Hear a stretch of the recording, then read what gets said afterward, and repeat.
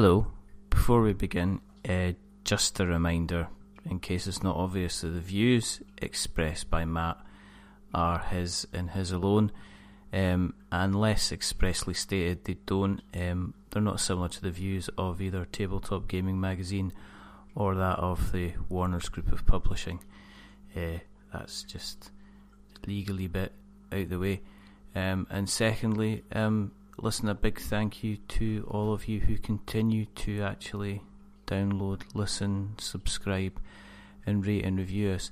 Um, just a big thank you for helping us kind of reach where we are. Um, we've got some really exciting things coming up, and it wouldn't be possible without you, you kind of listening right now. So, thank you, and uh, I hope you enjoy this uh, this very very fun to do episode with Matt Jarvis from Tabletop Gaming Magazine. But now, on with the show.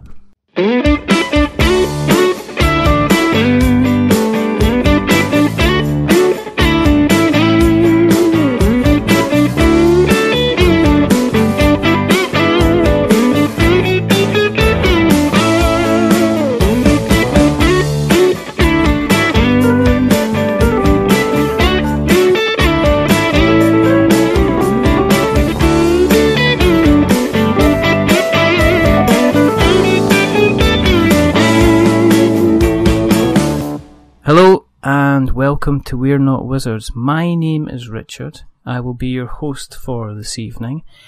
And joining me this evening is a gentleman who we spoke to a little while ago. And he was taking his first steps into the being the editor of Tabletop Gaming magazine. It is the one, the only, the recently birthdayed boy, Mr. Matt Jarvis. So good evening to you, sir. Good evening, Richard. How's it going? It's it's very very good. It's very very good. It's hot. Um, yeah, I'm a good nine and a half this evening. I mean that kind of happens. that kind of happens now and again. But yeah, I must admit, um, it has been. Um, it's been a busy old year for you. I'm guessing Definitely so far. thank you, thank you for telling everyone that it's been my birthday recently. I appreciate that you're letting everyone know that I am in fact getting older and not ageless. Listen, if we could compare ages right now, I'm probably still old enough to be your dad. So let's let's kind of get that let's kind of get that out, out the way. You know, um, yeah, I was kind of born in the seventies. I'm pretty sure you were born well after that. So I won't even name a year. I'd rather st- Keep just it- stay, uh, stay an enigma as far as age is concerned. Um, but yeah, so last time we spoke, you hadn't long kind of taken over the the role um, as editor of Tabletop Gaming Magazine. That's right. I think I was a Um, couple a couple of weeks in, if that, Yeah. and then I was thrown onto the podcast and was sort of like, oh, Ah. I've got to do this professionally now, rather than just being someone who likes to play games a lot. Yeah. Now I have to talk about them, and people will hear and go, "That guy sounds, you know, questionable." Well, I've been blagging it now for about eighteen months, and I seem to be getting away with it. you know, you know, they've- I've just, you know, I've just, yes, I've definitely played Settlers of Catan board game. What's a board game? Um, um, well, I guess we should say that for anybody who um, who hasn't listened to the show before, thank you for coming on. Whether you found us through the wonders of iTunes, and a quick mention to those who have actually gone on and subscribed and rated and reviewed us. Thank you very, very much. Um, the reason that we do this, and Matt's heard this all before, and we're still running with the same joke, is that we believe there's quite simply not enough podcasts out there about board games. And the second reason that we do this is because sometimes we get people on and we have them back on to find out what they've been up to, what they've been playing, and how in general life is treating them. So, Mr. Matt Jarvis, tonight you're officially now a repeat offender. Now, how do you feel about how do you feel about that? I feel like there could be a better title for it, but I'll accept it. I'll, I'll roll with it. I probably won't put it on my CV. No. Don't take any offence when it's you don't see it popping up there. That's fine. That's fine. I don't expect any kind of mention anywhere else. You know, recently I was a repeat offender. That'll be the. Uh, I'll change my title in the magazine from editor to repeat offender and see uh, how many copies we shift then. how many, how long it is before you get a quiet, a quiet little email saying, um, yeah, if you wouldn't mind, uh, kind of coming up into the senior manager's office. but um, as we said, Gen Con's been around. Um, very quickly, was there anything that kind of tickled your fancy that you saw or you heard about? Uh, well, it's been a an interesting one, really. I think actually for me the the biggest thing was actually just before Gen Con. I don't think it technically counted as Gen Con, which was Twilight Imperium uh, fourth edition. Yeah. Which I think Fantasy Flight dropped maybe the week before Gen Con or right at the beginning, and then obviously they in Gen Con Fantasy Flight then dropped Star Wars Legion, which No. sort of was a big old sort of surprise, but also as someone who who likes miniatures or is trying to get back into miniatures, I suppose I should say, was sort of one of those things where I started to go, ah, you know, I guess I should save some money for this. I mean, Yeah. they there sure are a lot of Star Wars games out of Fantasy Flight now, but they continue to be very good, and those miniatures sure look really nice. They look that that actual noise, that involuntary noise that I apologise profusely for cutting across you was actually not me. It was my wallet. Um, kind of in shock because, um, yeah, miniatures. Yeah, I mean, it's a is it a bold move? Is it a brave move in your opinion, or is it just something? It's just something different, isn't it? It's another thing to add to the stable. Well, it's I think it's an interesting one because they they obviously had X Wing now for a long time, and X Wing is a proven money spinner. But X Wing is a very different kind of game.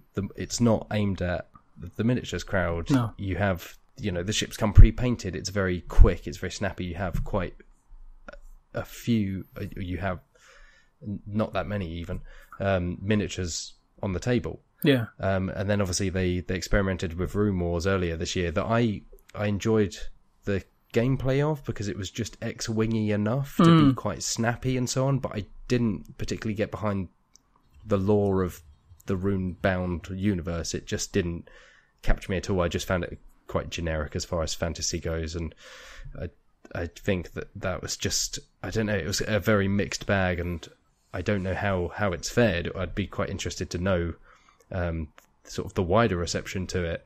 Um, but I think this is a this makes sense in terms of putting Star Wars into miniatures. It's it's perhaps one of the best things to take on, you know, the new Warhammer Yeah. forty thousand with, yeah, because there's few universes out there for outside of gameplay, because there's obviously uh, Infinity and things like that. But in terms of universes, there's few things that can take on Warhammer for sci-fi on the tabletop like Star Wars. Well, it's the world building, isn't it? I mean, you the only Exactly. the only other contender, I guess, would be Cool Mini or Not's kind of fire and ice um, Kickstarter.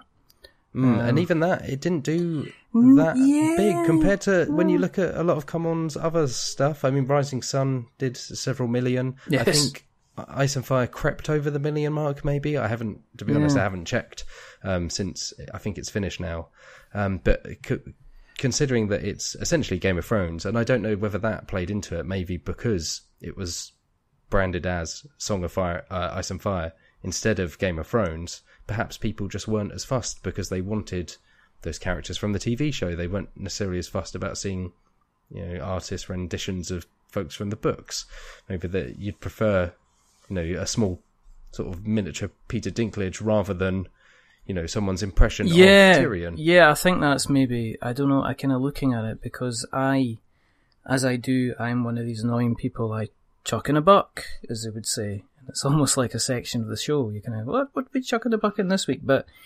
Yeah, it did like one. It did one point seven, so it didn't do too badly. But compared to Ah, other blimey. CMON stuff, I think it really rallied towards the end. But I think I, I was going to say it definitely shot up when I looked at it. It was a, it was about seven hundred thousand, I think, maybe Yeah. the last time I looked at it. So it sounds like it shot up quite a bit. But even even so, like you say, uh, you know, they're they're used to several multi millions, and to get to gather less than two is, especially with something as big as potentially as big as Ice and Fire, Game of Thrones, yeah. you just expect that it would be much higher.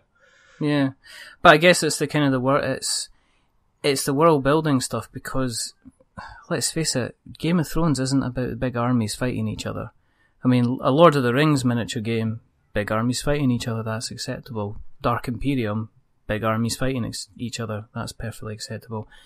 Let's face it, Star Wars, as far as I mean, in my opinion, and this is in my opinion, and when you are building a game like a, a kind of a, any kind of wargaming game, if the, one of the most difficult things is to build up the world, and it can take a long time to build up the world. I mean, let's face it, if you're just dropping Star Wars miniatures on the table, everybody know. You you drop like a, you know, a biker scout on his little um, his little um, kind of bike thing from Endor. Everybody knows what that is. If you drop a you know an AT-AT on there, everybody knows what that is, kind of thing. If you drop Vader or Luke, everybody knows the kind of the backstory. So the world's kind of there.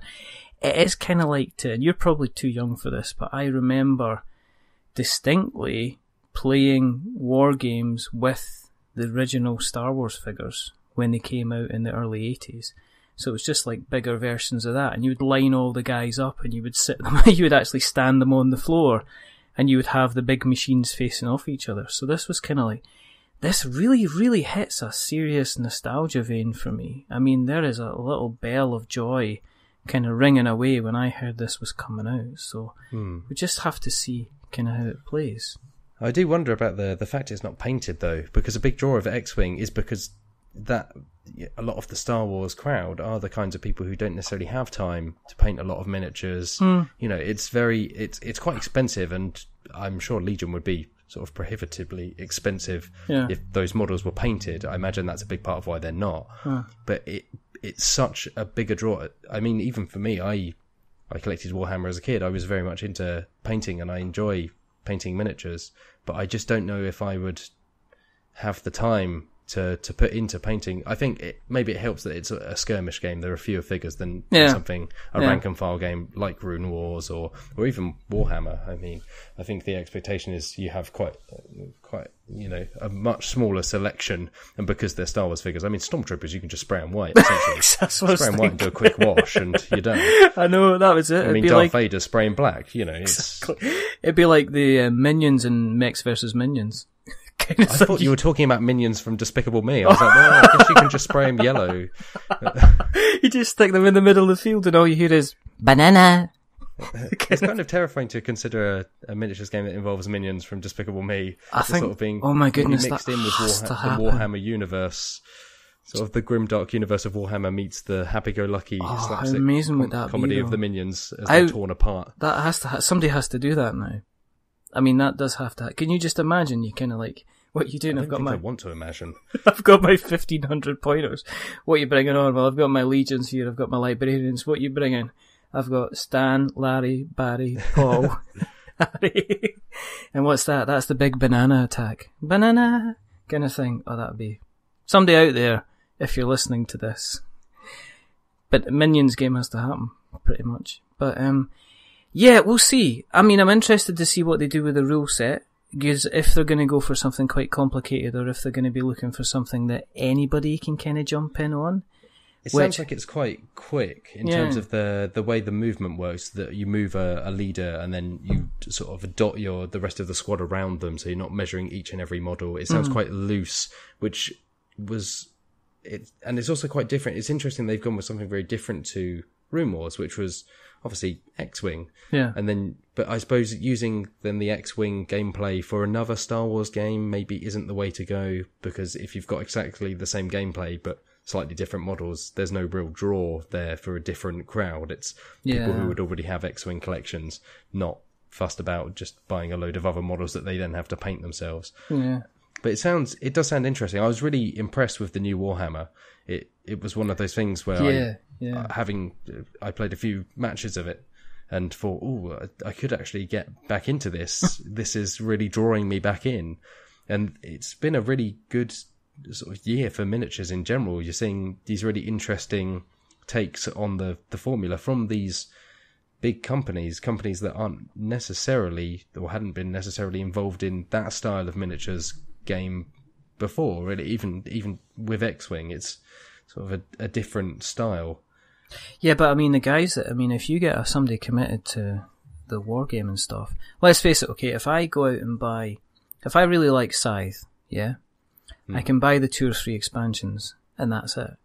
If I really like Star Wars Legion, I'm gonna keep on buying, you know, stuff after stuff after stuff, and then there is gonna probably be the official Fantasy Flight paint set on how you paint your miniatures, kind of thing.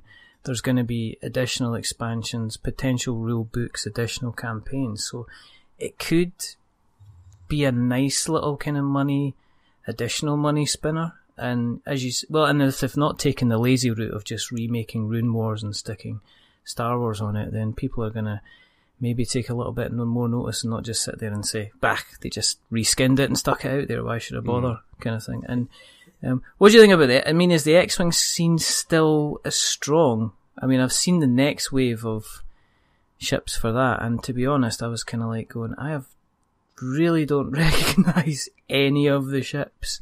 I think the the scene is certainly the competitive scene definitely seems to still be thriving. Yeah, I mean, at UK Games Expo there was the the European Championships of Fantasy Flight, and when I walked through the hall each time, it was absolutely packed out. Mm. I think you're right in the the ships.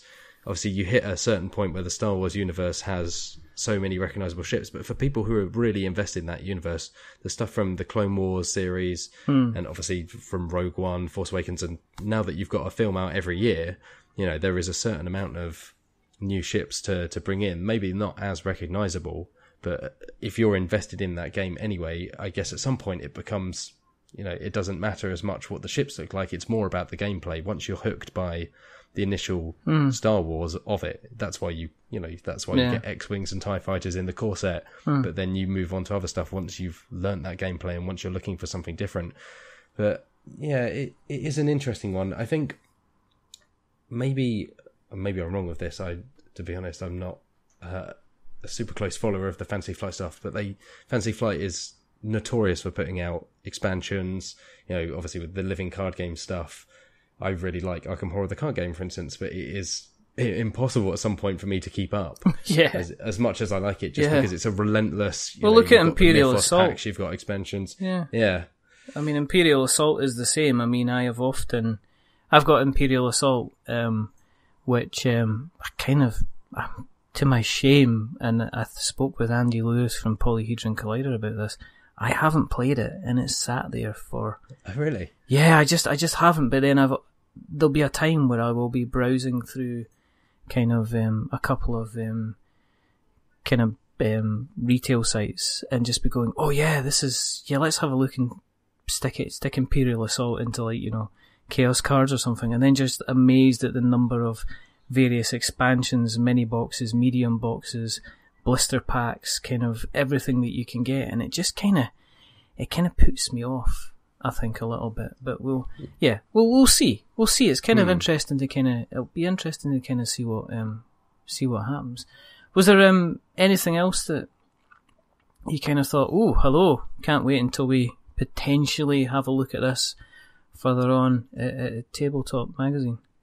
Well, I was actually quite lucky to to have a few things. I think that were either launching at Gen Con or sort of being shown off at Gen Con come in uh, for the next magazine. So Unearth, the next game from Brotherwise, who did Boss Monster, yes, uh, is sort of a, a, dice roller, dice placement game. And I played Boss Monster, and as someone who likes video games, enjoyed the idea of it. And, yeah, yeah. But necess- wasn't didn't necessarily stick with the gameplay. The gameplay was it was interesting enough, but it it was quite straightforward. It you know, it, it sort of lost me after a little while. But I don't know if I've been really, really enjoying. I mean, it's it's dice, so it's all down to, to luck at some point, and that can affect how the game flows quite a bit. Oh. But I think they introduce enough interesting sort of decisions and, and options where a lot of the luck side of it is negated, or at least there's some flexibility in terms of, oh, I rolled.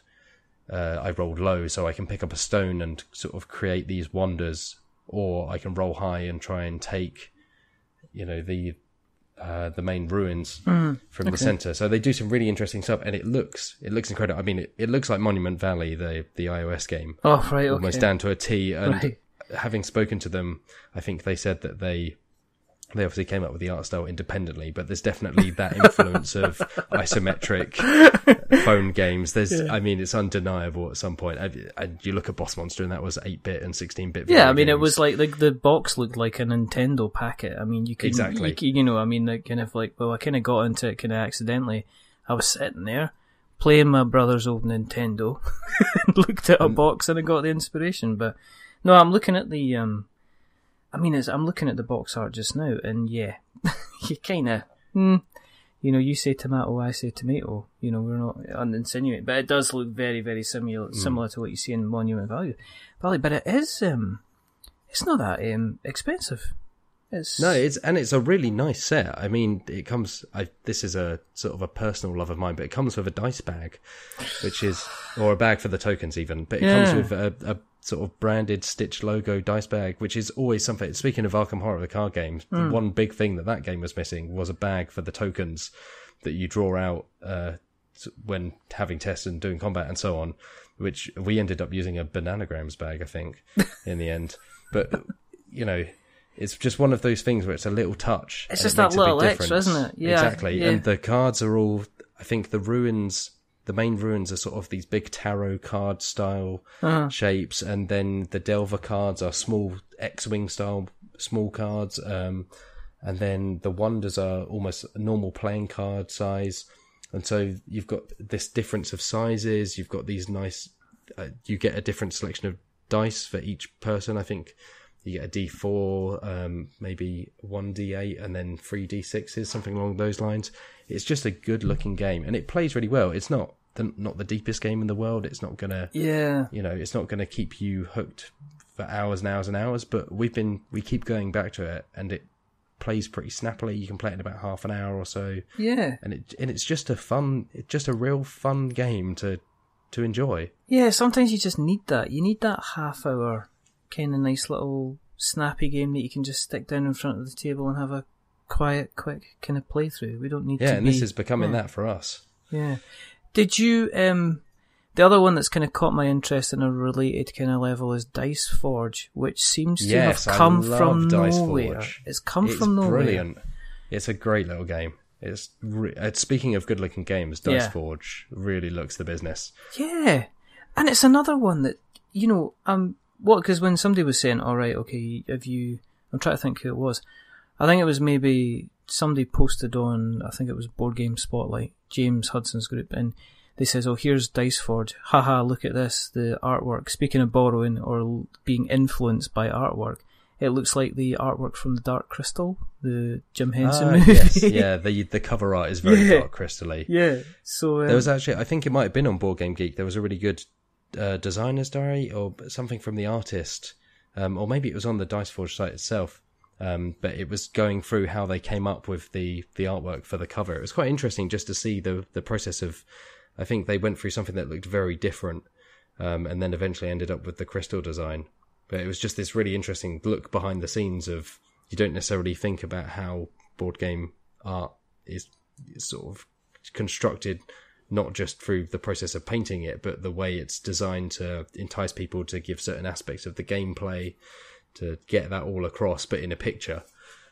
It just looks really nice. It looks the kind of I like mm. a. It's nice and it's sort of like a bright, breezy kind of game. The only thing, the only thing I've heard, I mean, again, it's like what thirty odd quid or something. So it's something else that's maybe not going to ridiculously break the bank. But um, do you really? Did you really, really kind of enjoy it? Do you really like it? Yes, yeah, it's a great. Again, it's it's not the deepest thing in the world, mm. but it's there's a real satisfying sort of just loop to it. Mm-hmm. Where you're obviously upgrading your dice. Some of the, the dice stuff is a little finicky, sort of getting yeah, the panels off. Yeah. The dice, I think, there's they're obviously constructed in a way that where it's best to get the faces off and so on. But there's something about them that I'm that isn't quite completely up my street. I think it's the rounded corners and things like that. They mm. feel a little I don't know, almost a little gimmicky, but the actual gameplay and the way it looks is fantastic. And there's a just a good, satisfying build up of. Um, it's been a little while since I played it. I'm trying to remember. Um, but you build up. I think it's moon, moon and sun. I can't remember what they're referred to in game as. Yeah. Um, but you can either sort of build up those and get upgrades, or you can invest in in faces, so you can get powers from one board mm-hmm. um, in the shape of cards and so on that introduce new, and some of them introduce completely new mechanics. So you can expand the amount of cubes you can hold for certain resources and things like that, or you can just upgrade your faces. So there's this good split of trying to progress things forwards, or almost investing in better die faces, which obviously then you you pick which die they go on, and yeah, there's it's it is very straightforward, but there's this real interesting just hook to it, and it and it looks really nice. They use the the actual box, which is something you don't often see, uh, in a really interesting way, where you place the tray of die faces on top of the box, and uh, the main box is decorated to look like a, a, Greek temple or an ancient temple. Yeah, I've seen and then that. There's yeah. a separate board that extends and is meant to be placed next to it, so it, it comes all together into this sort of this really great looking, just like I guess landscape on the tabletop, and all the cards that slot into the edges continue the artwork. It's just a really, it's There's a- really good looking game. It Yeah. plays really well, and it's it's really straightforward. It's the kind of thing I could introduce to my parents or something like that. But it is a just a cracking little game in itself. I mean, it's again, it's it's it's just like stop being so many board games, stop being so many good, please. Um, I mean, I had an interesting day because I um I spoke to um Frank West, friend of the show, and all right, all round nice guy. At least until I thought he was an all round nice guy because he says, "Oh look, here's a list of all the games that I played at Gen Con." So he says he sent me his board game geek list of everything that he played, and kind of Dice Forge was on there. Um, he also came back with um, the Dead of Winter Flick 'em Up. Oh know- yes, yeah.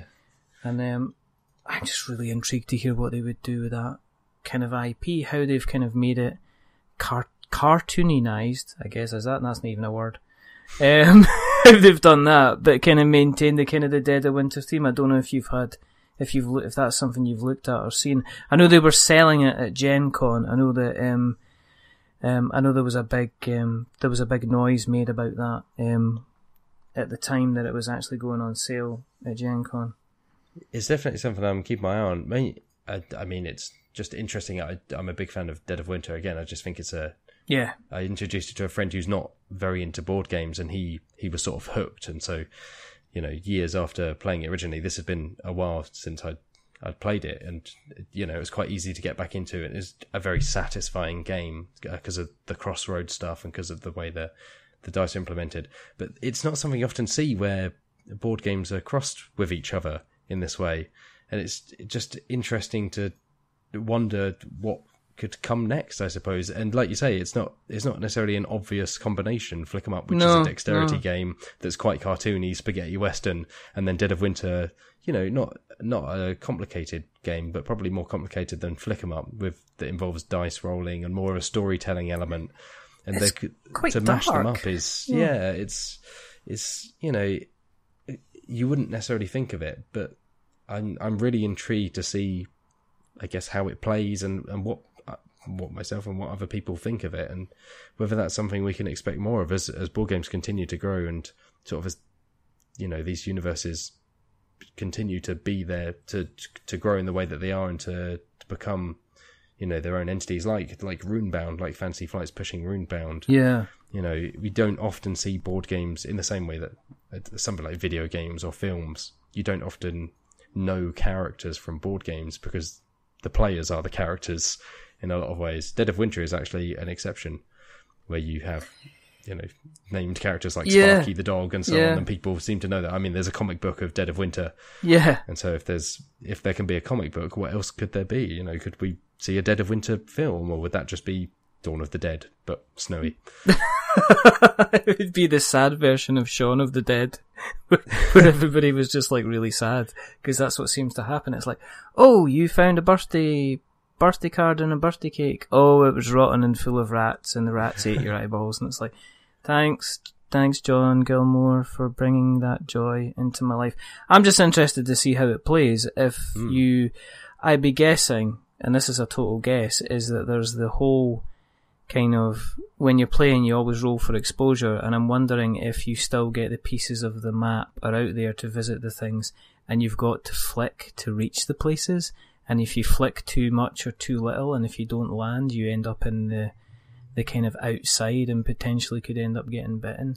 I mean it's one of these it kind of opens your eyes to kind of like the the kind of like the possibilities which is kind Mm, I definitely hope it's that more than just oh it's a you know it's flick 'em up but with zombies instead of Yeah. cowboys and you, you have a couple of characters yeah because what that would just feel like a waste but So you've been playing much yourself. I mean, we had a quick chat in the green room, and you said, "Actually, I have been able to play some stuff." So what you've been playing yourself then?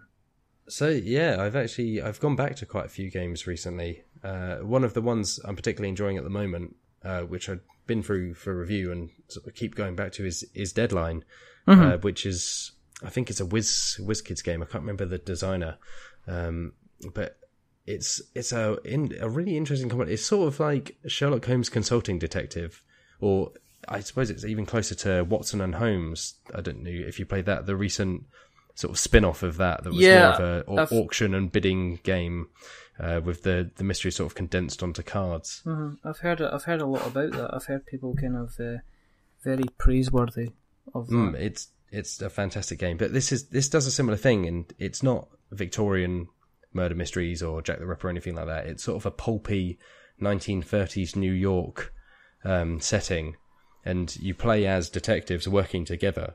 Right. But there's a it's got a card game mechanic that drives the mysteries. So you're you choose a, a location, and each location has a certain combination of it's it's very sort of film uh, film noir and sort of you know Ray Bradbury, Yeah. all of those sort of authors, It's kind and of like so it condenses it down to book kind of thing. exactly. It's Yeah. it's pulp as it comes. The cover is a, a magazine, like a Yeah, pulpy yeah, magazine sort of artwork. Yeah. But the symbols you're trying to match on these cards that you're playing down are there's like a gun, there's a whiskey shot glass, there's cigarettes. It's you know it's the pulp things you think of. It's all the cliches, but it leans into it in a way that really works. It's I think I haven't actually played the Grizzled. Um, that co-op card game, but I understand it's similar to that where you're you're placing them down and they have to overlap in a certain way for them for your cards to be allowed to be placed down. Mm-hmm. And once you get a certain combination for each area, you can then read the bit of narrative on the back. All right. Okay. And so the idea is you go through these cards, you and they unlock different, you know, different locations, different people to talk to, and then at the end you have this consulting detective style series of questions where you then have to look at all the the clues you've gathered, look at all the evidence, Yeah. and try and work out the main mystery. So the card game bit doesn't necessarily play into the actual solving of the mystery beyond just stopping you going to all these locations, you know, off the bat yeah. but it, yeah. it's it's a really interesting thing. It's the writing is it's very pulpy. It's it hits all the cliches. You know, it's it's nothing revolutionary in terms of the way it's written, and the card game bit isn't super complicated. It's it's quite you know it's very similar with each case. There, are, I think there are twelve different cases that each have specific locations and outcomes and so on. But it's it's just again it's just a really good game. We keep sitting down with it for it plays in about forty five minutes. So it plays a lot quicker than a lot of the consulting detective cases, mm. which can stretch on and stretch on. And you also get powers for your detectives. Um, you sort of get a once per game power All right. Okay. um, and things like that. And if you run out of cards or you can't go, you can end up playing plot twists, uh, which are sort of ongoing effects that can be good, can be bad, uh, and things like that. But it's a really, just a really interesting mashup, and it's it's just fun. You know, the mysteries aren't particularly complicated. They're nothing near consulting detective levels, and that, in many ways, that's often a good thing because you don't get the same leaps in logic uh, in most of them that you do in Consulting Detective, where you're like, well, we thought it was this guy, and actually it was this Yeah. cat that happened to run past and Yeah.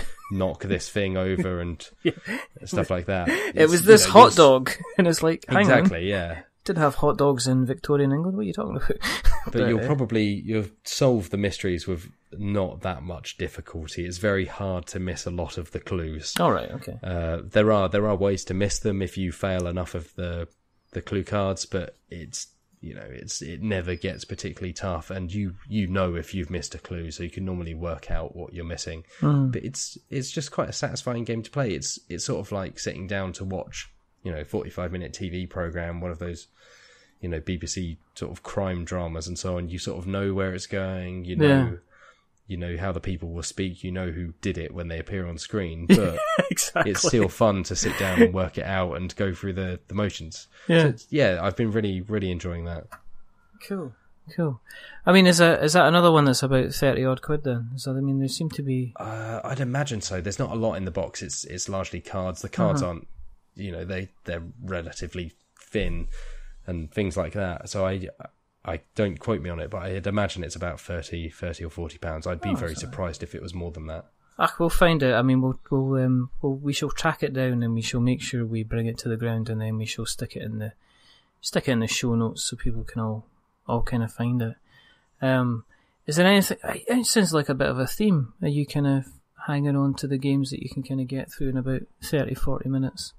I definitely I do like to play longer stuff uh, Hmm. with reviews. Obviously, it's it's often nice to have the shorter stuff to go back to in between as palate cleansers. Like Sushi Go's become a favorite Yeah. between reviews just to to break things up. And recently, we've been playing a lot of Medici, the card game. Oh, Uh, the Reiner Knizia, obviously, sort of, I think, 90s classic, one of his auction games that was then condensed down into a card game. They sort of stripped stripped out the the auction auctionness of it uh, and just made it this. Uh, it's more of a press your luck. You draw a certain amount of cards and you're trying to put these resources onto your boat. You have a limited amount of space and then you, you stick them in a warehouse and they're worth different values and so on. But that's been, I mean, I haven't actually played the original Medici, I'll admit that up front, but I've been really, really enjoying the card game version of it. Uh, and then, oh, weirdly enough, uh, we played Knizia's Modern Art, which is again Alright, okay. an entry in the the hallowed sort of auction trilogy. Um, but I think I think it was actually CMON just put out a new version of it, a new edition um, that overdoes the artwork with actual artwork from real artists, and that's that's a really excellent that's little game nice, yeah. uh, where you're you're bidding on this art, and everybody's money values are hidden, um, but you can push up the value of certain artists if more of their works are brought. Um, so you can end up sort of uh, playing the market in your favor because there are different types of auctions for each card. So you can bundle certain paintings together by the same artist, and that would obviously force their value to increase. Or you can do open auctions where you go until everyone else drops out, or you can do uh, hidden auctions where people put the money in their hand and reveal it all at once, or single bid auctions. There's just a really good variety, and you go through these different rounds, and the the artists build up values depending on where they place uh, how many of their paintings are sold during each round. It's a really a really solid uh, little auction game, and it's the presentation in the new edition is just fantastic. Like, the screens that each player has to hide their money are sort of styled on different galleries. So there's you know like Paris Modern Uh-huh, or sort of the New York uh, gallery. I assume that I don't think they're real places, but there's a good variety in there. Yeah, that's been that's been really good. As we said at the top of the show, you've been kind of doing the editing for almost a year now. With there seems to be more and more board games kind of kicking about, or either that, or there seems to be more exposure to them. Have are you finding it as an editor? Is it easier to fill up a magazine in terms of the amount of games you can cover, or is it more difficult because you have to be kind of pick and choosy about what you are going to cover? Um, in terms of like, I mean, I suppose even like things like the new hotness and stuff like that. I mean, is that is is it made your is your job getting made easier, kind of like that, or are you kind of like, oh, I don't know, do I do this or do I do something else, kind of thing? It's definitely both. I, I mean, it's especially with board games because they're so varied. Hmm. You you obviously have certain designers, certain publishers that you f- follow. I mean, Fantasy Flight. A lot of the Fantasy Flight stuff is going to be big releases. You know, they hmm. are the biggest company in board games, so you'll follow that stuff. You'll try and speak to those designers, but then there'll be stuff that comes completely out of nowhere. First time designers or first time publishers. That's really really excellent stuff, and you Yeah. obviously want to be on that as well. And so, in terms of the the amount coming out, I think, I, I mean, as far as I remember, there's rarely been more board games coming out than now, and rarely have they been just of such consistently high quality. It's just, it's out, just, you know, shocking how high the bar continues to be for board games. Um, so that, in terms of having stuff to talk about, there's definitely never a lack of stuff Yeah, Um, but you're right in terms of having to be picky. We have we have sort of a lot of smaller designers come to us, people who are putting out their own stuff because you know again it's never been easier for for people to start up a Kickstarter, make five, ten, fifteen grand, and bring out a game. And Yeah. a lot of those games are you know great to excellent, but it's really hard to know that before they're out, and so often you find yourself either trying to preempt stuff and almost having to take a risk on some things Yeah. and and obviously it helps if you you get it in and you play it and you're like okay you know we feel this is a really cool game that other people should know about i mean that's that's partly why the magazine exists Yeah, to, yeah, yeah. to help other people filter through it or if they don't have the time to go browsing through board game geek or reddit or Yeah. or whatever to pick up the magazine and use it as a quick reference of okay here's what's coming up here's what's come out here's what at least these guys think um so but we definitely have to be picky like i say we we have people get in touch and a lot of the time it's it's you know we we would love to cover a lot of the smaller folks and we definitely do that's that's something i'm really keen to do is to cover the, the sort of one person designers or studio like Well, you had um, you had so Bez, on. you had Bez on the show as we spoke about um, in the green room. Um, Yes, yes. the force of nature that was Bez who came on here recently and she completely overtook the show. Um, but um, I mean, did you speaking of small? I mean, there's but then there's guys like say um, inside uh, inside the box board games that came out of seemingly nowhere with like Statecraft and then were taking both Statecraft and Subterra won awards at the, the kind of the UK Games Expo, which was really, really kind of out of the blue compared to kind of what else was what else was out there. Yeah, exactly. And I think uh, in the last uh, issue, the that would be the uh, maybe the August issue. Actually, forgetting which issue. Sorry, I start to lose track at some point because the months become a blur. When you're the problem is when you're writing a magazine, you're obviously writing the magazine for a month that you're not Yeah. in, so you start to lose track. So at the moment we're working on October, so I keep thinking it's October, but it's not. Uh, so it's the August issue, I bel believe, uh, with the Starfinder cover and the Free Walking Dead promo card. If anybody wants to go uh, pick it up. Oh, sorry, what was that? That was the the free a, Walking a Dead free promo. Walking Dead promo card on the front of the, the latest issue of Tabletop Gaming to, to get the plug in while I'm here. oh, that's Uh, it. but it's the the magazine with the Starfinder cover. In there, we have a review of Subterra, and we have a chat with uh, Peter of Inside the Box and Tim, who's the designer of Subterra. Um, so it's definitely one of those things where that was really interesting. And even before UK Games Expo, we were keeping an eye on Inside the Box and thinking, okay, this looks really interesting. Yeah. You know, Subterra is a really interesting concept, sort of pandemic meets the descent. And uh, again, Statecraft, we've got um, a review in the next magazine All right, okay. uh, sort of a really interesting concept of this political card game where you are running, you know, you're trying to get voters on your side. Um, for sometimes it's a democratic uh, election, sometimes it's not, um, but you're trying to shift your policies to attract different types of voters. So maybe you're trying to attract the unemployed, and they're after one thing, or maybe you're trying to attract older voters, or they're and they're after one thing, and and so they inside the box definitely have these really interesting concepts. I have personally found that the gameplay doesn't always pan out in those games. I was quite disappointed by Subterra. Uh, I'll admit. I really, really was looking forward to playing it, and just every time I played it, I just, I just found it quite repetitive. It never really captured the the atmosphere that I was looking for from a game like that. And and actually, Statecraft was similar.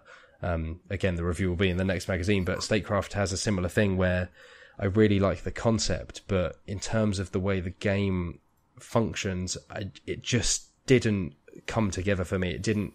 It a didn't capture the the theme correctly. It didn't really get that atmosphere of a political race across in the right way, and also it, it felt just kind of a bit inconsistent at points where a lot of the time it would be quite enjoyable and you'd be capturing voters and then you'd be sort of hindering your rivals with certain events and certain actions. And then that stuff would either drop off or it would become overwhelming because the way the deck um, functions is sort of it's very random and again inconsistent. And so but inside the box that's not to you know not to fully criticize those games because i think there's definitely value in games that aim for really interesting and ambitious concepts even if they don't always pan out in terms of gameplay uh, which is often the case with smaller designers with smaller studios um, who don't always have the same you know everybody's got to start somewhere and i think starting Yeah. with something that that aims high and ultimately falls a little bit short is better than something that's just you know another Cards Against Humanity's clone or Yeah, exactly. just trying to be exploding kittens again. And, Yeah. and we have that stuff. You know, we have people who Ten make those penny. games too get in Yeah. touch, and that's.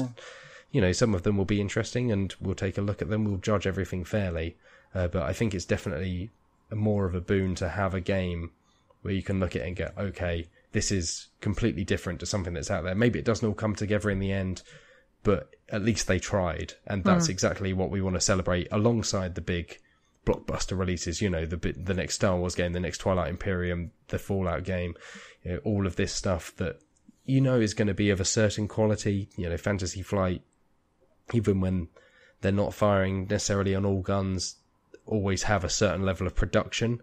But yeah. there's definitely something to be said about the smaller smaller teams out there or smaller just lone people out there who are trying to do something great with yeah. what they have and and to look at that stuff on the same level as those big polished you know mega releases well we've got um we've got the Grimm Forest coming out very i mean very soon um that i think that won the kind of the overall number one hotness at, at gen con that's james hudson's game and that just looks polished beyond belief i mean we'll see sorry we'll see how it plays I mean, opinions are important. We had um, Rory Summers on recently, and he's a big advocate of Subterra. He loves it to pieces. Um, and you know, you got a different view. I played Terraforming Mars the other week, and I kind of walked away wondering what the hype was about. To be perfectly yeah, honest. I mean that that's you know that's the reality of games, right? People yeah. have different opinions. It doesn't discredit one. It doesn't discredit the other. Yeah. I think if again, it's better to have different opinions on one game rather than one game where everyone's just like, oh, this is you know, if everyone considers something to be great, it, I think people become a little bit jaded and you know, ultimately nothing nothing is for everyone. Or you end up don't have... taking a risk, don't you? I mean, you end up with a video mm. game industry kind of situation where the only guys exactly. that seem to be taking risks are this kind of maybe the small developers. So when a bigger developer comes along and does something different, everybody applauds it like it's the next best thing.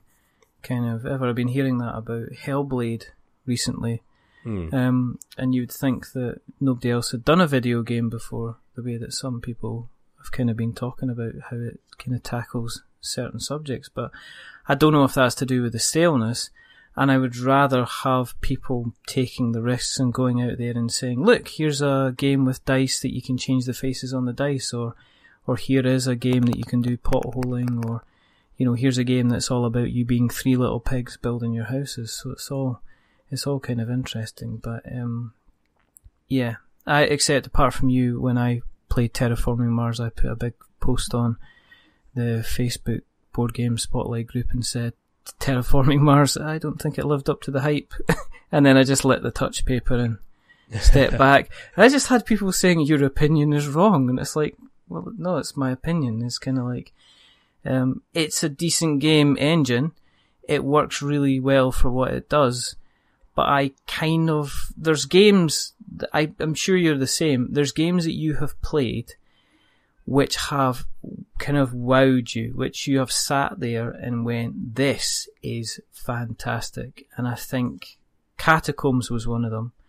Letters from Whitechapel for me was one of them. I don't know about you if there's been any games you've sat down and just went, "This is the best." I mean, certainly recently. So, A Feast for Odin, I was just sort of I was blown away by. Yeah. I think just the again the ambition of it. I mean, uh, Rosenberg always delivers to a certain degree. You sort of know what you're getting uh, in a lot of cases, but it's just the the scale of it and the the almanac that came with it that explained the historical accuracy of yeah. every single bit and bob in the game. I, that was just one of those experiences where we played for I think three or three odd hours, and it was just this sort of wow. You know what look at what board games can achieve that mm-hmm. maybe no other medium can. You know, there are other ways of simulating things. There are there are video games that do it. There are you know programs that do it. There are books that give you an experience or films that give you an experience. But that was one of those things where it definitely felt like this is one of the the few things where you almost couldn't feel it being recreated in any other medium because no. there was just something about it, the physical nature of it, the the arrangement of you know things in your your storage hut as you're collecting them, the the way you turn over board, in the way that same in the same way that Pandemic Legacy, you know, when I played that, I played it with my partner and we played it, we played the entire season over you know a couple a couple of nights. You know, right, we were okay. playing Pandemic Legacy for like four or five hours a night, something like that. You're a binge Because- playing it. yeah, because we we just were absolutely hooked on the legacy aspects, this sort of the tearing up of cards Hmm. and the way that all progressed. And I had a similar feeling about Gloomhaven uh, when I was playing Gloomhaven. where yeah, how did you get on with. Gloomhaven? Yeah, was I, it good? I absolutely love it, and we All sat right. down like every night for multiple weeks and would just play through one or two scenarios. We'd go back to the city, we'd have the encounters, yeah. you know we'd level up our people we'd unlock all these boxes and again it's it's one of those things that you just can't imagine working it could be recreated in you know it could be made into an app it could be made into these other things. It could potentially be a choose your own adventure book but it just wouldn't have the same level of sort of immersion of involvement. And that's that's a big thing for me. I know that again people look for different things in board games but that's something that i am definitely Yeah. that re- always draws me in is this just like i'm i am doing this i am involved in this i'm changing the way that this plays out um but gloomhaven i was i don't think it's perfect. There are definitely aspects that could be improved. I think the box is pretty awful. The organization of the box is god awful and it would be a much better game if it came with some decent trays. Yeah. uh, actually the wasteland express delivery service um, Oh. I haven't I haven't played it yet, but we spent yesterday punching bits out of punch boards and putting Did them in you? the box. But my god, that box is very good.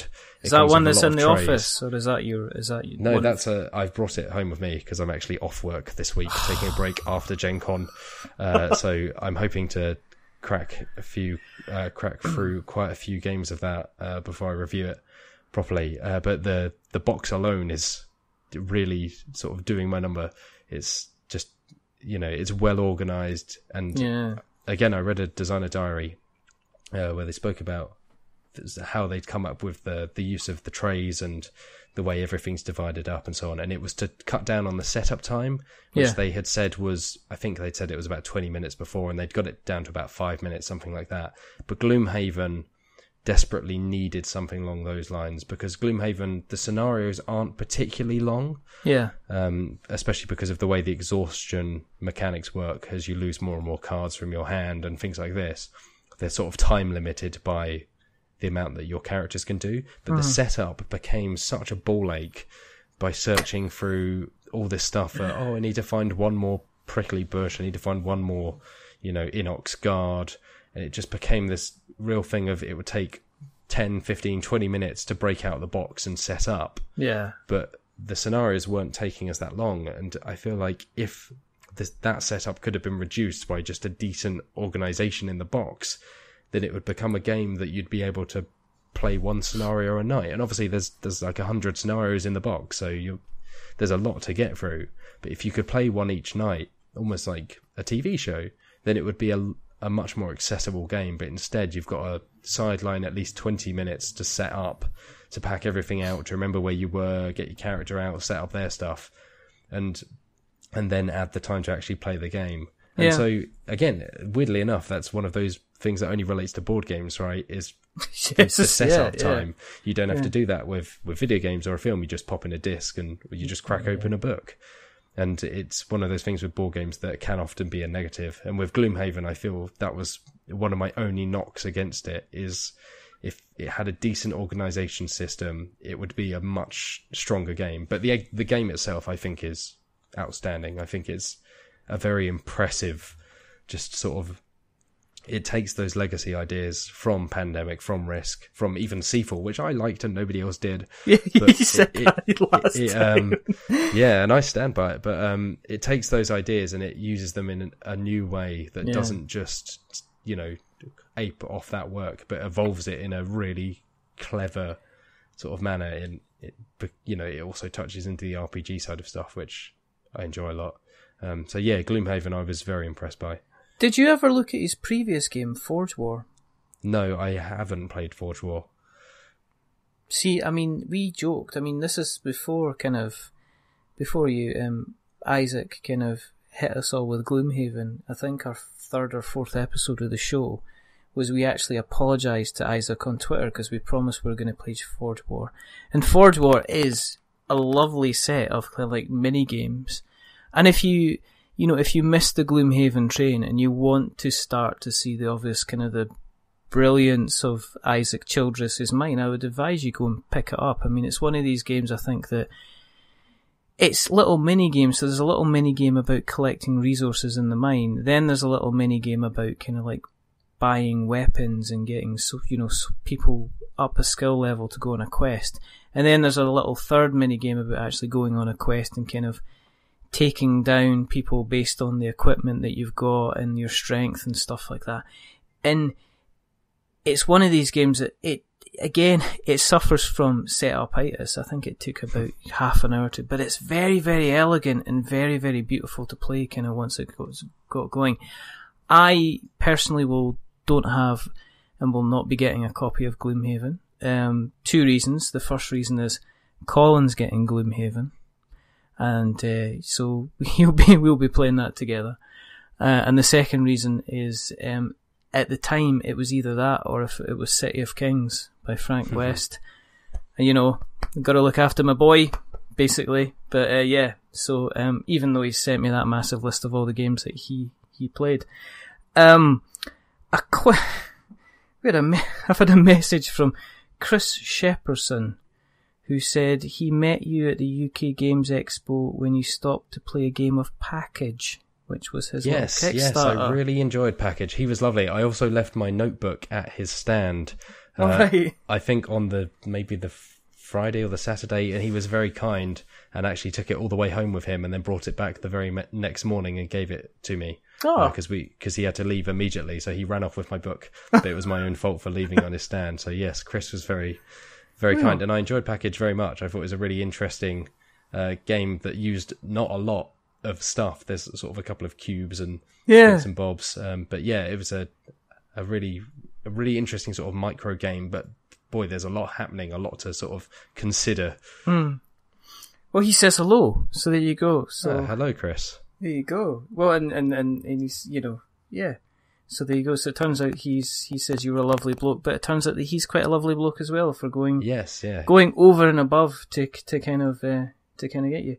Um, you've been concentrating a lot aside on the website. I mean, obviously we were talking about kind of balancing up the, the, the content that goes in the magazine with more stuff that goes on the website. So is that, are you, are you kind of a bit more, free-handed on the website with what you're putting on? Are, are you, does it give you scope to be kind of covering more stuff on a day-to-day basis? Is it kind of thing? Because um, you seem to, it seemed to have come, it seemed to have gone from some place which was worthwhile having a look at for the big news stories. To it seem you seem to have seriously be concentrating on packing it with an awful lot of content. Oh well, thank you. Uh, I suppose it's it's two different styles of of coverage of, of board games. The magazine obviously has reviews. It has these sort of longer form features and big interviews, and there is there's definitely some of that on the the website as well. We you know for up exclusive interviews there and uh-huh. and whatnot. But I think the website it reflects the way that people use the internet a lot more, which is the sort of smaller, sort of in the moment stories. Yeah. Um, because I th- I think that people at least you know our readers and people who enjoy board games, they're more likely to sit down with a magazine. They're more likely to to enjoy, you know, a big sort of six eight page interview about Starfinder, about Bears versus Babies, in that that format. But I don't think people necessarily use websites, any website, for that anymore. There's longer form stuff out out there, and we do do some of that on the website as well. Mm-hmm. Um, but it's definitely more of a in the moment, you know, this is being announced, or here's what you should know about this. So I think it helps to, and because the magazine is naturally slower because of the way that magazines work and they need to be printed and and so on, that makes sense to to almost split it that way. And there is some crossover, but we obviously want to, you know, people who buy the magazine don't want to see all of that stuff just up on the website. No. So we definitely hold quite a lot back for the magazine and uh-huh. then on the website you get a lot of the stuff that you don't necessarily necessarily get in the magazine because by the time the magazine comes out, it's just not relevant anymore. You know, yeah. a lot of those stories are smaller stories that just you know if they're if they're important stories in the magazine, we'll cover them in more in-depth ways. We'll speak to the designers, or speak to artists, or publishers, or studios, or we'll have a review. Whereas on the website, it will be more of a okay, here's what you need to know now, Yeah. and then you know the rest. If you need to, if you want to know more, you know, come to the magazine, read this big feature on it, and so. And, and like I say, there is definitely crossover. Some of our reviews go up on the website um, once they've been in, in once the magazine's been out a while. Because again, there's no point in putting them up no, uh, immediately because Yeah. you know we you know, you know respect our readers most of all because they're the they're the people that we we depend upon. They're the people that built us up to what we are today. You don't Um, want somebody running past them while they're reading the magazine and going, mate, they gave this a three. Sorry. he said he hated it. He's just like, what? Well, at least on the internet they can reply and tell me on Twitter that they disagree very Yeah, much with yeah. my opinions. Yes, and I'm sure they use that exact wording. I'd like to point you out, Mr. Jarvis, to an error I believe you made in your judgment to the following Oh, you've been on the internet before, Richard. Yes, yes, I have. I've definitely. I think you know, normal discourse and a kind of, um, I guess, regular value discussion um, is obviously the way the way forward on these on these things. Um, wow, I need to get out more. Um, what are you looking forward to? I mean, we're coming Oh, up boy. to. I mean, we have got. Let's face it, Essen. It's the you know it's one of the biggest ones for Europe. Um, what are you? What is going to create a little twinkle in the Jarvis eye? Oh, I was going to ask one more quick question though. How did the cat get on with the Gloomhaven box? Is it a yes or a no? Oh, she loves the Gloomhaven box. Really? She is a, a big fan of Gloomhaven. Actually, we were playing Mansions of Madness earlier today, and right, that was a big hit with the cat. all right. In terms of if we're giving box scores from the cat, I think Yeah. Mansions of Madness would probably be a 10. Really? Gloomhaven might have been a little bit, just a little bit too tall. She Oh. couldn't, she quite likes to sort of put her neck over so her head's Hmm. hanging out. I don't know if that's specific to our cat or if that's just a cat thing. Mm, I don't know. Um, so she sort of, and it's also Gloomhaven is more of a rectangle, whereas something like Mansions of Madness is a square, and so when she curls up in a circle, you know, Perfect it fits. It, yeah, exactly. So Gloomhaven would probably be sort of an eight or nine, uh, Hmm. but in terms of, I think Mansions of Madness might be the best uh, cat box we have. So is this go. going to become a regular feature? I think I think every time podcast, everything we're just going to rate time the latest boxes for cats. box cat. That's an entire podcast on itself. You could just rate rate different things. No, I mean, um, I don't think. The, I think let's face it. The only thing you could use a um, fantasy flight box for would be if you had like a small a small animal running back and forward, up and down the trench thing. Um, I don't think you get much better than that. Because no, I remember the cover art that we used for your last episode was your cat sitting in the Mechs versus Minions box. yes, that was a big hit. That was a yeah, that was a roomy box So Did you um did you get all the way through to the end of the campaign? You know what? Yes, yeah. I really liked it. Really, really liked it. I think that that might have been one of my early editor's choices in the magazine. But okay. yeah, Mechs vs Minions is a a fantastic, really been- fantastic. As someone who absolutely hated League of Legends when I played it, I Ah. can't stand, and it, not necessarily the universe, sort of the gameplay, and Hmm. I hate to say it, kind of the community. A lot of that stuff put me off. But, um, in terms of Mechs versus Minions, the game, it's a just a fantastic game. Just a, yeah. Good. And I'd like to. I wonder what if Riot will do more because I I would definitely like to see them sort of build on that. Not necessarily with an expansion either. No. I think they might have announced the expansion. I honestly can't remember. It was a. T- I Um, think it was maybe maybe a. Maybe they were hinting at some kind of toolkit Hmm. to allow you to create your own scenarios, Ah, that might have been it. which Um, would be interesting. But I'd love to see maybe just like a card game, something like that. Yeah. Which, speaking of which, like the Dark Souls card game, what's going on there? Like, come on. I I think well, if anyone read the magazine, they'll know that I really did not like Dark Souls the board game, despite being very excited for it and being very fond of Dark Souls the video game, Yeah. and and really, but I just, but I don't think it's a bad game. I think. I think what it is is it's a really good set of components, a really good set of ideas, hmm. and sort of an underbaked set of rules. I feel if they were to revise the rules a little, maybe if some people were to house rule it, it would become perhaps a, a good game, maybe even a great game. But I think there's some just inherent flaws in the way the grinding works. And it just isn't fun. The way it is now, it's not fun at all. I- but a card game might solve that because that suggests that a card game would be quicker, might sort of streamline a lot of that stuff, just because it's it's done with cards. It's not necessarily having to trudge your way through the same set of map tiles again and again and again. And Bloodborne the card game, uh, of course, Eric Lang's Bloodborne the card game, I really liked. I thought that was that was brilliant. And so I'm sort of questioning the need for a Dark Souls card game at all. Yeah. Um, and then of course they've got Resident Evil going on as well, so they're Do you know what? There's only one thing that I am not too sure about, which is the way that you can get it, which is going through the backer kit.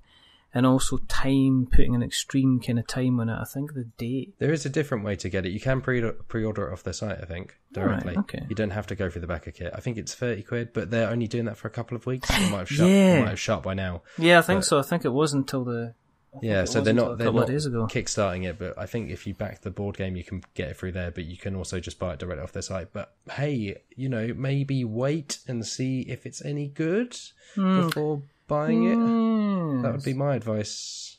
I like. See, I'm gonna I'm gonna go out and say I like the Dark Souls board game, but I liked playing it in single player more than I like playing it in multiplayer. I, I think that would probably help. It would probably. I think the single player rules cut. They naturally introduce a lot of the stuff that needs to cut down that grind. Yeah. Um, yeah. Well, you do start off. I mean, instantly it says, you know, it's a quick aside. It says like, if you start with more than one player, if you start with one, more than one player, put no souls in the Yeah, pot. exactly. if you start off with just one player, put twenty-seven souls in the thing, and you're just like, right, okay, well that makes already a huge kind of difference. So it does kind of cut down on the grade. Yeah, But and you're I, not having to split them between people and be like, No. well, you can level up and use maybe this weapon if we get one by randomly drawing cards out of the treasure deck, maybe. I feel oh, like wait, we spent all our souls on drawing treasure cards. Guess we can't level up and use any of these items. Never mind. Okay, I think I'm taking you down to a position of not like this is angry, Matt. I'm not sure. I've No, that, but that's what I mean. kind of Like, I feel like if they, tweak, Matt. if they tweaked those rules, Yeah. if they had changed those rules, it could be a good game to a great game. I think the ideas in there, the combat is great. The boss Yes. fights are fantastic. yes, The model, the models and the miniatures are great. There's generally there's a lot of good ideas in there, but I feel they're just very poorly executed. Yeah. But again, you know, as as far as it goes with the Dark Souls card game, it might be great. Bloodborne, the card game, was real good, and that was surprising for even me. You know, it's an Eric Lang game. It's based on a video game. You know, sort of different ends of the spectrum there, but that was really really good. But I would probably just say don't pre-order it. Maybe just wait and then read like tabletop or wherever your just you know yeah. review outlet of choices. You know, I have to say other that's why they exist. other websites and magazines are available. course, terms and course, yeah. conditions on request. Like, as people, because you're going to start saying, "Oh, I store my stuff in Kallax shelving," and then we're all back to a whole like kind well, of now you mention it. Don't even, Matt. Come on. I, just, I don't actually use. I don't use Kallax. I'm probably one of the few people that doesn't. I store them under. I've got a bed that lifts up, so that's how we naturally limit the board game collection is by storing it under a bed. Although that's now that rule's been broken because I we was storing stuff that. above the the bookcase and next to the bookcase and in nook and cranny around the house. I was Uh, waiting so- for that. Mechs vs Minions is now living on top of the bookcase because Jesus Christ, that box is massive. That's like, you know what I mean? It's like, see those adverts you see on film four in the morning if you've accidentally been watching a film the night before. And then you turn the telly on before, you know, just uh, put the telly on.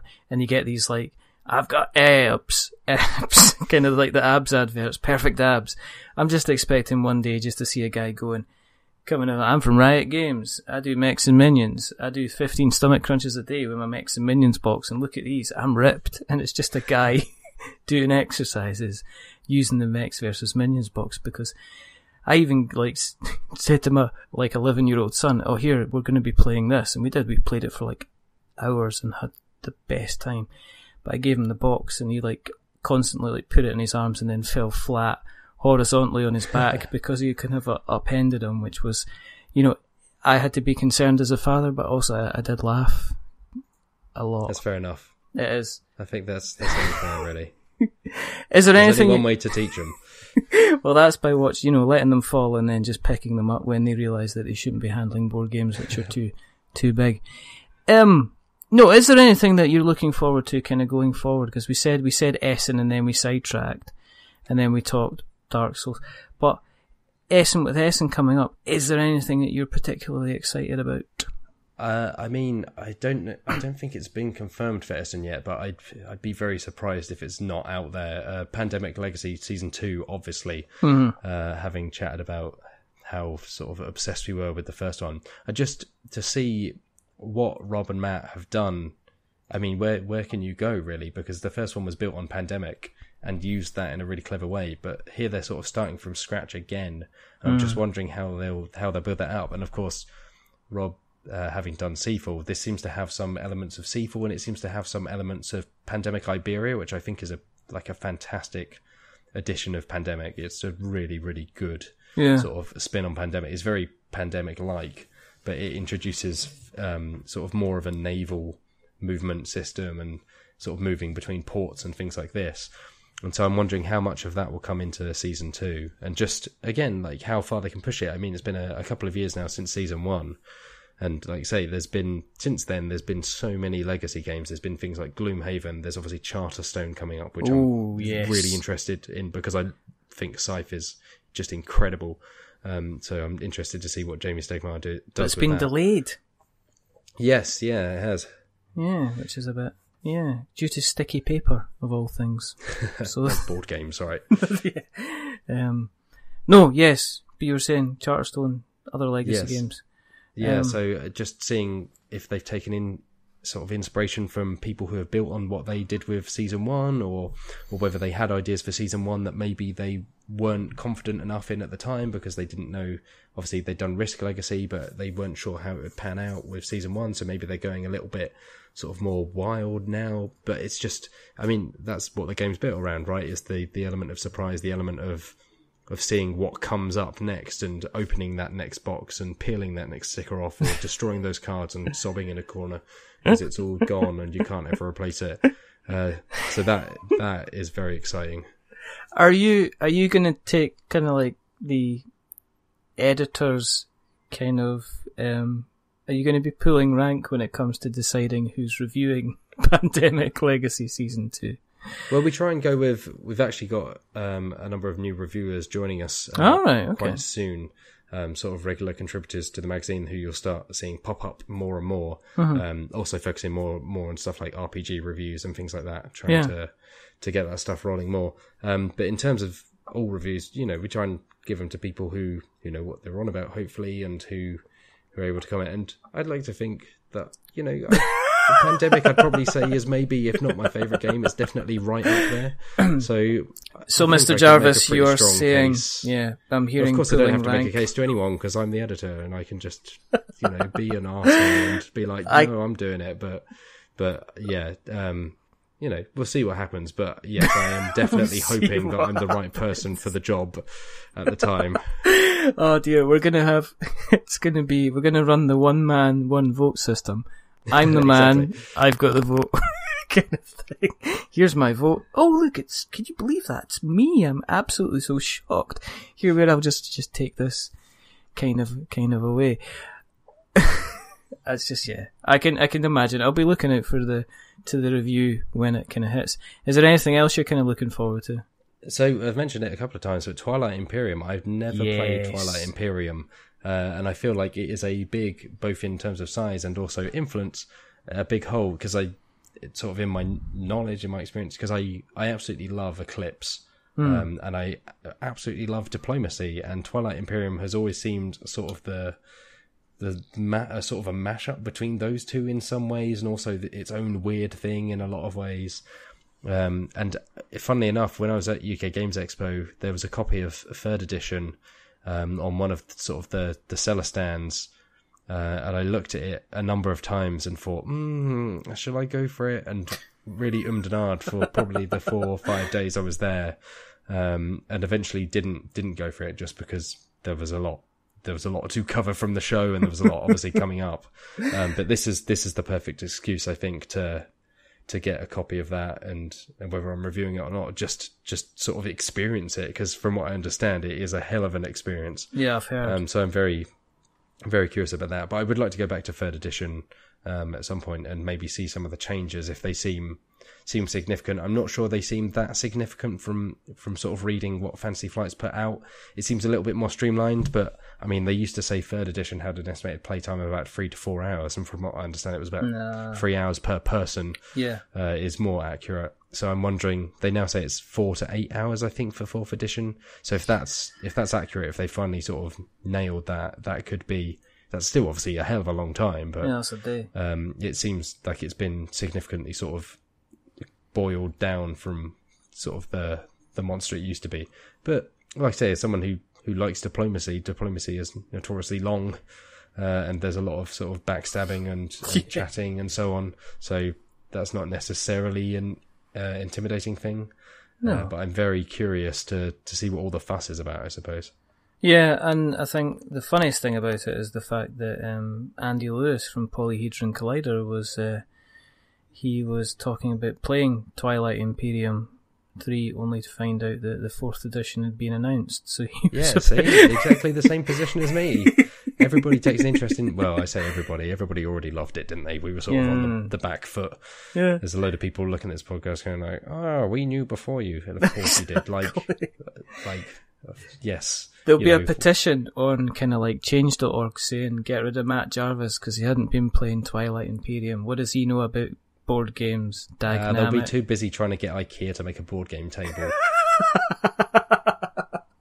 I've seen a there's a gaming table thing going about Yeah, yeah. recently. I've seen that kind of kicking about, and uh, what I've also seen Dized as well. This kind of learn the rules app thing, which I've seen that kind of kicking about as well, which seems to yes, be like yeah, a we actually have a in the October issue. We will have Oh, a an interview with Dized. Oh, okay. I, I what they're doing. It's really interesting. Um, I spoke to them at, at UK Games Expo. I think it's a really, it's a really good thing. It could be a really good thing, um, depending on how they, they do it. They're essentially trying to, to teach you as you go along and to get rid of that because it, it can be the case, you know, you crack open a game and then there's like half an hour to an hour of learning the game. Um, and they're trying to get rid of that using an app, which is like a noble deed. Whether whether it works out, um, we'll see. Yeah. Um, but it's it sounds interesting and it sounds and it sounds. I asked them about um because obviously there are you know there are plenty of YouTube videos out there that teach as you go along that are all you know very excellent. Um, but um, it sounds like they're trying to take advantage of of having like an app and things like that. So we'll see. You know, that's not. You know, Yeah. it could turn out to just be sort of a, a mess of of how it works because you're having to tap on a thing between each tiny little adjustment or move, and some things might not be as clear as they are in a rule book. But it's interesting to see people using that stuff, given the rise of companion apps and and these other sort of uh, technology enhanced aspects of board gaming. yeah, So yeah. I think they're. Um, I think Mike Barnes is. He'll be on the show round about the beginning of next month as well. So I shall ask him and see what he says. But we shall find. We shall find out. Um, for people that have listened tonight and want to keep an eye on what you're up to and what you're doing to see if you're actually genuinely into board games if you haven't really played Twilight Imperium Third Edition. I'll openly admit that I have not. Um, where can they find you on the internet, Mr. Matt Jarvis? So they can find well, they can find the magazine, which will probably interest them a lot more than me. uh, they can find the magazine. Uh, you can find at tabletopgaming.co.uk. Yes. Uh, and then there's obviously all the news on there. That's where you can subscribe to the magazine or you can pick up individual copies. We're also in shops sort of around the world. Uh, so in the UK, you can find us in places like WH Smith or hobby stores. You know, um, Sainsbury's at the moment is one of the Starfinder issue and so on. So you should be able to find us in there. Oh. Um, we're on Facebook. Facebook is just dot .com slash tabletop gaming magazine. Uh, and then Twitter is slash tabletop or at tabletop mag. But if you go to the website, it's all there. Tabletopgaming.co.uk. You'll, that will lead you to where you need to go. But I mean, if, and if people enjoy the mag, they just get in touch. Like, we love to hear from readers. We hear from, someone sent me a handwritten letter the other day. I was blown away What? with a hand drawn diplomacy map of all things. Really? Uh, because we had reviewed Diplomacy in the magazine, uh, the new edition, Yeah. um, the 2017 edition. Um, but and they'd obviously read this review and and just decided to get in touch on a whim and sort of tell us about this alternate map that I Ah. think some someone else had created. They hadn't created it, but they were Hmm. letting us know. But I mean, that stuff is fantastic. Like we we try and respond to every every email, every that letter I couldn't respond to because they didn't leave an address, but I would have. You know, I would have sent a carrier pigeon if someone sent one to me first. Uh, Maybe they just get the next Don't note. send me carrier pigeons, please. Um, remember, carrier pigeons, really bright white ones as well. Uh, Matt really likes the grey ones too. So does his cat, probably. Oh Um, god, yeah, yeah. In a zombie apocalypse, okay, you're Mm-hmm. running down the street. You manage to escape into an alley, into the back door of a place, and it turns out to be a huge board game emporium. Okay? hmm time is no object, money is no object, they have any game you want. What three games, knowing that you're about to go out into the front door with the zombie horde, thinking of survival, what three board games do you take with you? Any So I have games to use them for survival. The the, the Or you element can just- survival. You could be survival, or you could just take them along because they're damn good fun, and you might end up meeting. You might end up meeting between two to nine people, and also tables are available everywhere, so you don't have to worry about table space. What do you take in the zombie apocalypse, Mister Matt Jarvis? You know what? Maybe picking up a copy of Twilight Imperium, but then you could you could split the box, use it as sort of body armor because it's probably Okay. the biggest one of the biggest boxes around, right? Okay, So you could use that as body armor, Right. Sort of get them away, and then I'm trying to think what you could use as a weapon. You need something sort of well, you don't even have to use it as a weapon. You can say that, or you just say two games you'd like to take with you to play, or three to- games you like. Yeah. ah, but that that you know depends on me surviving the zombies. I'm not sure that's a So practical. Second Well- game, Mr. Jarvis, got to hurry you, they're banging on the door. Well, that's the thing. Like, if I get eaten, it's not like I can be like, well, at least I tried to play, you know, Twilight Imperium, and I went out that way. it's not like I'm going to be like, oh, Second game, got to press you, they're oh, banging Oh, through the door, come on quickly. Do you know maybe Tzolkin? Is it? I don't know. Yes, there you go, right. Yeah, Yep, you could use yep. the gears as weapons. Okay. He's taking an entire I'm Walking sure that Dead card, slant on this. cardboard gears would do a lot against, you know, rotting flesh and bone. But Well, you know, they're very kind of off the bone kind of zombies, hmm. so you could they would probably just fall apart if you touch them. Final game, oh god, they've Oh. they've smashed the glass. Is this assuming that I don't have any board games at home that they've all been eaten by zombies? You, these you can get any board game you want. You can Maybe take I'd, one. maybe I'd just take Pandemic. I'd just Yes. grab Pandemic because then if I meet anyone, I can be like, let me explain to you what's going on. And then we could use it to plan, assuming that we then had the ability to fly between countries and also set up medical centres and quarantines and so on. Uh, you've actually but- ro- you've role played this to the next level. yes. Ah dear. And um, on that note, um, listen, thank you for coming on. Thank you very much for having me. It's been a, a pleasure again. And hopefully people people don't, don't believe anything I've said here.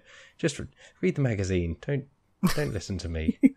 This is Remember- why I'm better in words because I can delete all the stupid things that I'm about to say. Listen, if I deleted all the stupid things I said, there'd only be like about 15 episodes of this podcast, and the rest of it would just be other people talking to silence, pretty much. Um, this has been a pleasure as always to have you on. Um, as as Matt has rightly said, if you want to go and read the words as opposed to any other method, then we'll put links in the show notes so we've got notes to show. Um, tabletop gaming magazine. We show, as I say, they'll be there for you to have a look through. Um, no, listen, just thank you for coming on. It's um, it's been good to catch up. Um, Thank you. Really glad. Anytime. Yeah, I'm good to see the the magazine is doing really well, really well, and the online side seems to be doing well too. Yes, keep your eyes peeled. We will have some exciting stuff in store very soon. That is all I can say. But needless to say, there's a lot of exciting stuff happening. That's gives me nothing, Jarvis. I know. Absolutely. This is why I work Stage- in journalism. Stage, stage. And here's some exciting news that I'm not going to tell you. It's like Henry Exactly. Jasper buy the magazine. Buy Games. the magazine if you want the uh, the news. The new get, you can go on the website. It's free on the website. The news is free. The news is free. Everything else, no. The subscription will cost you. Um, you can scri- subscribe online um, to the magazine as well. you definitely But it's just can. Yeah, around the world as that. well. Well, No matter where you are, no excuse. And in digital. Fantastic. We're not sponsored by Tabletop Gaming Magazine. I need to point that out. Um, but there are only two more things to do. And the first thing is to remember that we are many things. But we're not wizards. Are we wizards? No. Absolutely. Well, not. most of the time, I know. I've been known to dabble. don't ruin what has been an absolutely wonderful time this evening by even going near the W word. Um, and the second thing is to, well, if you want to catch up and remember what we are up to, or remember what we're up to, find out what we're up to, follow us, look after us, search us out on the Googles. Go to Google's, search We're Not Wizards. You will find us on YouTube. You will find us on Acast. You'll find us on Stitcher. You'll find us on Twitter. You'll find us on Instagram. You'll find us on Facebook. You'll find us hanging about various kind of board game type groups on Facebook now, kind of occasionally causing controversy, but always with a slight wink in her eye, just to say, haha, let's not take the internet too seriously. If you like what you've listened to tonight, and we do thank everybody that has actually been leaving us reviews because it really does help us get out there. Um, if you do like what you've heard, as we say, jump on Apple Podcasts and drop us a rating, drop us a review. If you are going to give us a review, remember, don't give us a 10 because that makes us big headed. Don't give us a 1 because that makes us cry. Give us a 5 because that is in the middle. It is average. And we are very average. But as I say, the person that's not been average tonight is the wonderful, fantastic man of paper and words, Mr. Matt Jarvis. So, thank you again, Matt. Thank you, It is- Richard. It is time to say goodbye. So, it's, as I say, it's a b- goodbye from Matt, Goodbye. and it's a goodbye from me. Remember, stay safe, roll sixes. Um, I'm not going to plug it anymore because we've plugged it enough. um, but keep an eye out. Essen's coming along. Let's see what's going to happen with Essen. Uh, stay tuned to us for some other interviews coming up, including Mr. DC from Steamforged Games who's going to talk about Dark Souls. We've also got Jon Gilmour's going to be coming on. We've got James Hudson's going to be coming on. We've got Mike Barnes from Dized. We've got Mark McKinnon from Wreck and Ruin fame. He's coming back on again, plus a few more. We will be putting news of that on the website. But until the next time, thank you for listening. Big hugs and kisses, and goodbye.